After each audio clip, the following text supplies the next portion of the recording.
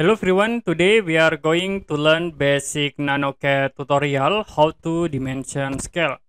As example, I will create a rectangle and we set the dimension into 50 and 50.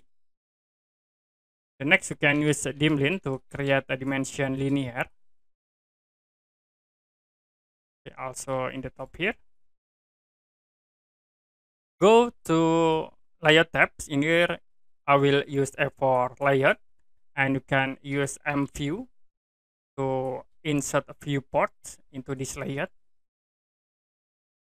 And if you want to edit you can uh, double click this uh, object. So the next if you want to set into dimension scale you can go to models and then type dim style.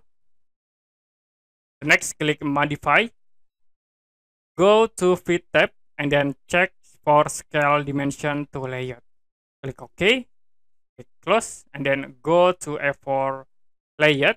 Now you can double click and you can see dimension in here. You can set like into scale 1 1 okay, to be automatically changed or you can scale into 2 1.